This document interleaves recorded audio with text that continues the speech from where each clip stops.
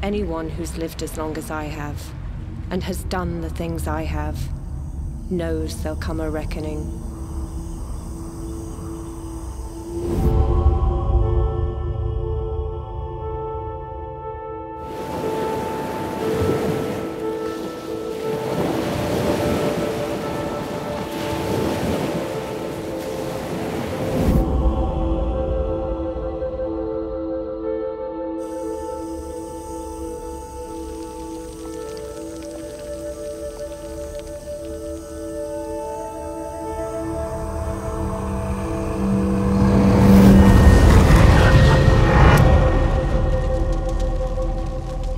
All of my life, people have tried to erase me.